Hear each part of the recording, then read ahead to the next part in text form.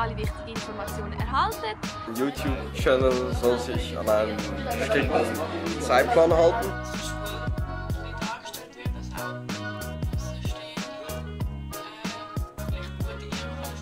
Ja, also dass er informativ ist, aber gleich noch interessant und lustig zu schauen. Wieso macht schon den YouTube-Kanal? Einfach lustig sein, dass wir mit Humor nicht steif äh, da sitzen.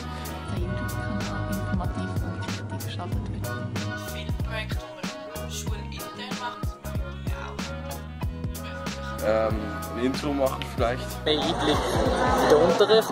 Aktuelle Themen beinhaltet. Zeigen, wie schön das unsere Schule ist mit den verschiedenen Gebäuden und der Umgebung und die verschiedenen tollen Angebote, die es gibt. gute Qualität, es muss Animation haben, Musik, es muss unterhaltend sein, es muss sich fesseln. Dass halt vielleicht auch die, das schöne Kantigelände gezeigt wird oder so. dass äh, Lehrerparodien gemacht werden auf dem YouTube-Kanal. Dass ähm, Lehrerparodien gemacht werden auf dem neuen Kanal. Dass wir mal Lehrerparodien machen, das wäre sicher cool. Ihres Parodien.